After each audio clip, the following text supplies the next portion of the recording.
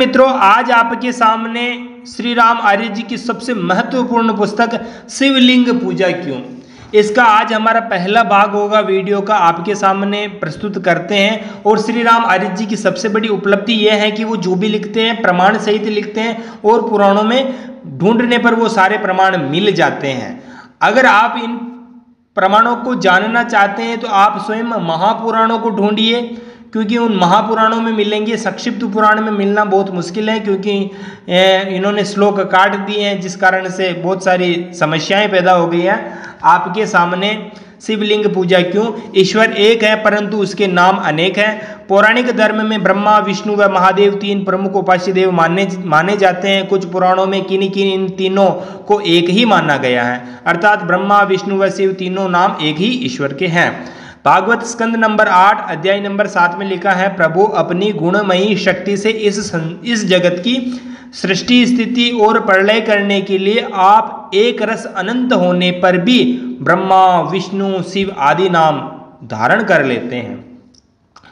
वह एक ही भगवान जनार्दन जगत की सृष्टि, स्थिति और प्रलय करने के लिए ब्रह्मा, विष्णु, शिव इन शिव, इन तीनों नामों को धारण कर लेते हैं। ये विष्णु पुराण प्रथम अंश अध्याय नंबर दो का प्रमाण है। इससे प्रकट होता है कि ये तीनों नाम सर्वव्यापक परमात्मा के हैं और पौराणिक जगत में कई लोग पृथक पृथक यानी अलग अलग मानते हैं कि ब्रह्मा अलग, विष्णु अलग, शिव अलग, और कहीं पर विरोधाभास बढ़ा है कि ईश्वर तो एक है, वो सबका है।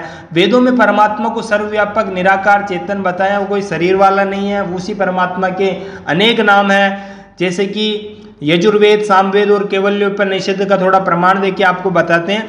आदित्य, वायु, चंद्रमा, शुक्र, ब्रह्म, आप, प्रजापति, सोम, राजा, वरुण, इंद्र, कालाग्नि, रुद्र शिव, ओम, स्वराट, विष्णु, सूर्यादि नाम ईश्वर के हैं। जगत का उत्पन्न करता होने से ब्रह्मा, पालन करने से विष्णु और कल्याण करने से शिव परमात्मा का नाम है। महर्षि दयानंद जी महाराज ने सत्यार्थ प्रकाश के प्रथम समूलास में ईश्वर के सौ नाम दिखाए हैं। पौराणिक साहित्य में भगवान भागवत व पौराणिक साहित्य में भागवत व विष्णु पुराण की एवं वेदों व उपनिषदों की उपरोक्त मान्यता के विपरीत वर्णन मिलता है। जिनमें से इन सभी पुराणों का पृथक पृथक अस्तित्व माना है और एक दूसरे की निंदा भी की है। महादेव जी ब्रह्मा के बेटे थे। ये लिंग पुराण का प्रमाण है। पूर्वाद अध्याय आपकी 96 सिक्स छिनवे। मेरी नाभि से कमल पैदा हुआ, उस कमल में से ब्रह्मा पैदा हुए, उन ब्रह्मा के माथे से शंकर जी का जन्म हुआ। इसके विपरीत अन्य स्थानों पर इसी पुराण में लिखा है कि लिंग पुराण का प्रमाण और देखिए। महादेव जी कहते हैं, मेरे दाहिने पसली से पार्श्व यानी पसली से लोक पितामह ब्रह्मा जी और बाहें पसली से विश्व के आत्मस्वरूप हृदयोद्भव विष्णु जी पैदा हुए। इसके लिए एक प्रमाण और आगे देखिए। हाँ बहुत महत्वपूर्ण है। गरुड़ पुराण, ब्रह्मकांड, अध्याय नंबर चार, आप स्वयं देखिए। ब्रह्मा, विष्णु व महादेव को जो भी एक मानते हैं, वो सारे नरक में जाएँगे।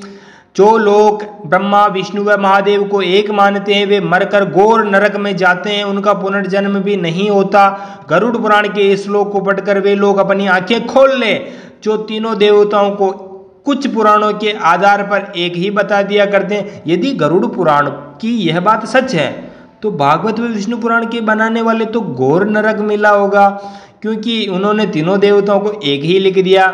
इन कुछ उद्धरणों का देने का हमारा तात्पर्य यह है कि वैदिक साहित्य में ब्रह्मा, विष्णु व महादेव एक ही ईश्वर के भिन्न भिन्न नाम माना है, और भागवत व विष्णु पुराण ने भी किसी किसी स्थल पर चाहे कुछ देवताओं को एक ही स्वीकार किया, किंतु अन्य पुराणों ने इन तीनों देवताओं का अस्तित्व पृथक पृथक ही माना है।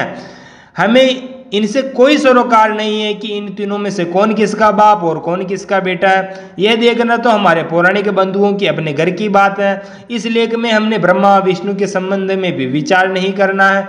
हम आज अपने पाठकों के संबंध में वास्तविक स्थिति से जानकारी कराना चाहते हैं। हमारे देश की धर्मपरायण हिंदू जनता करोड़ों की संख्या में शिव के वर्णन भरे पड़े हैं। कहा जाता है कि शिव जी सपेरों के समान सपेरों के समान गले में सांप को पहनने पहने रहते हैं, समुद्र मंथन के बाद वे जहर को पी गए और उसके, वह उनके गले में रखा है इसे वे नीलकंठ कहलाए। उन्होंने सती से विवाह किया, उसके मरने पर वे अपनी लाश को कंधे पर डालकर शोक में दीवाने हुए सर्वत्र भटकते फिरे।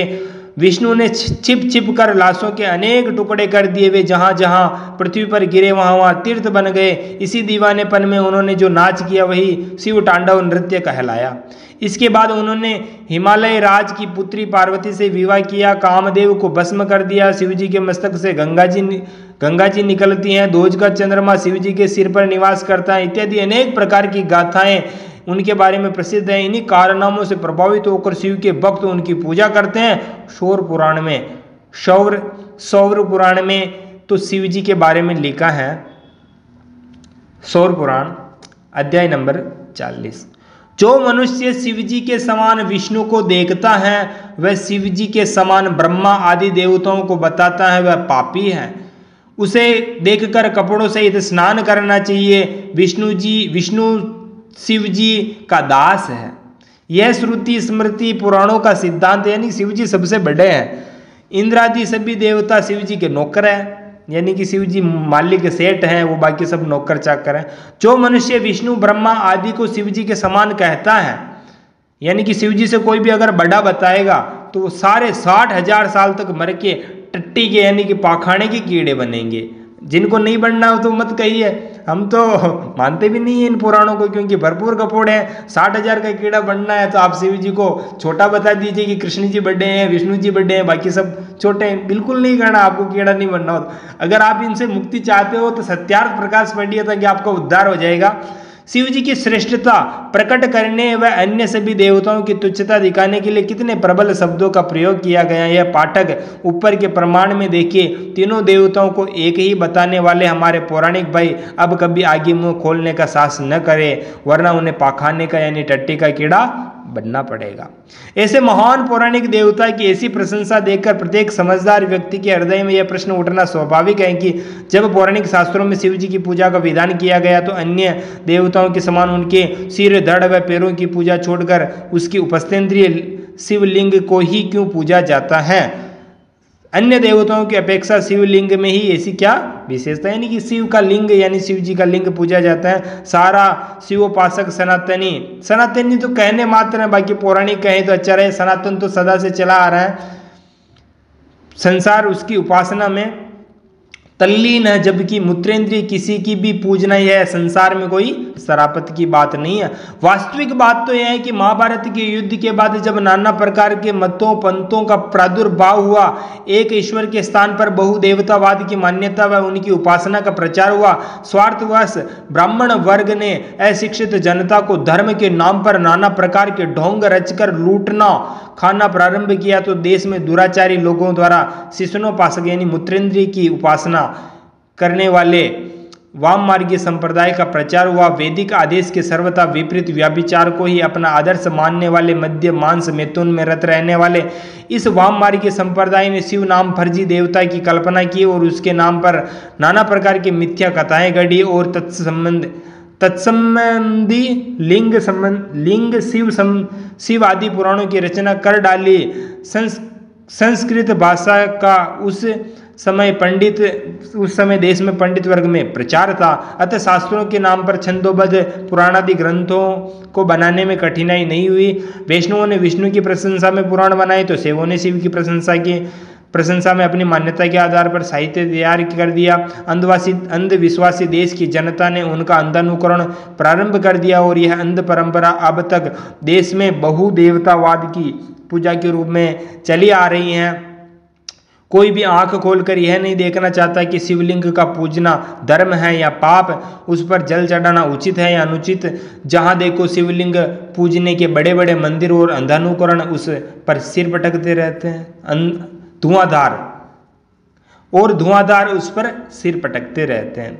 आज हमें अपने पाठकों को सनातन धर्म के ही मान्य शास्त्रों से शिवलिंग पूजा का संपूर्ण रहस्य बताना है। हमारा उद्देश्य किसी के दिल को दुखाना नहीं है, वरन अपने वैदिक धर्मी जनता से मूत्रेंद्र की पूजा के इस गंदे आडंबर को तथा भ्रष्टाचार से दूर करना और धर्मपरायण अपनी हिंदू जनता को यह तथ्य बताना है कि ईश्वर के स्थान पर हम हमारे स्वार्थी अंधविश्वासी धर्माचार्यों ने क्यों नारी के गुप्तांग सहित शिवलिंग की पूजा जारी करवाई? पौराणिक साहित्य के स्वाध्याय से हम इस परिणाम पर पहुँचे हैं कि भारत के दक्षिण प्रदेश में सर्वप्रथम वाम मार्ग का उदय हुआ। मध्य मांस मैथुन उनके संप्रदाय के मूल आधार हैं। उन्होंने अपने देवता शिव की उपस्थेंद्रिय की पूजा का, अपने व्यभिचार प्रदान धर्म का प्रचार का साधन बनाया। आज यहीं तक आपका अपना यूट्यूब चैनल है। धन्यवाद जी। और श्री राम आर्य जी ने जितने भी प्रमाण बताए आप मेरी बात का विश्वास मत कीजिए। आप उन पुराणों को ढूंढिए, आप उन पुराणों को खरीदिए और आप उनमें से प्रमाण ढूंढिए कि उनको कहिए कि हमें शिव पुराण चौबीस हज़ार श्लोक का चाहिए, हमें भागवत अठारह हज़ार श्लोक कंप्लीट चाहिए, उसमें कम नहीं होने चाहिए। ऐसे आप उनको बोलिए। तो आपको वो सारे प्रमाण मिल जाएँगे क्योंकि मसाला तो उड़ा दिया है पोपो ने बहुत सारा। आपका अपना यूट्यूब चैनल है